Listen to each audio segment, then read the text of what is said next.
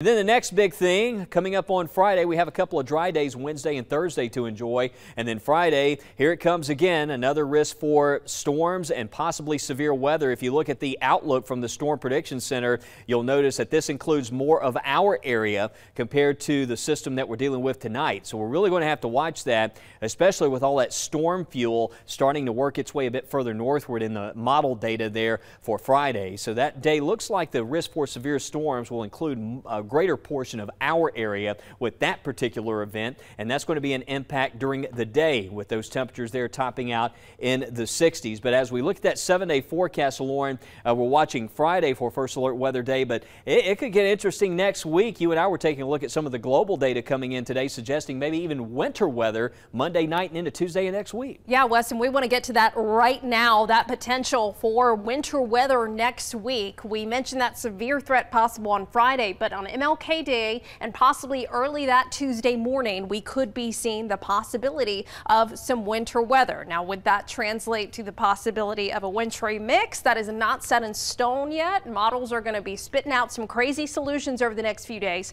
so it's up to us to decipher it for you. But what we are certain of, there is going to be below average temperatures six to 10 days from now across much of the lower 48, and that does include us here in central Alabama, hence that Arctic air outbreak. And as we look at those potential low temperatures beginning by Sunday, we could be seeing temperatures falling to freezing and then a first alert for teens early into the middle of next week before we see a warm up going into the following weekend. So look at those potential high temperatures, highs possibly not getting out of the 40s or 30s parts of next week, and then a steady warm up into the following weekend. Of course, we always have to watch those warm ups around this time of the year if there's enough moisture around for any severe threat.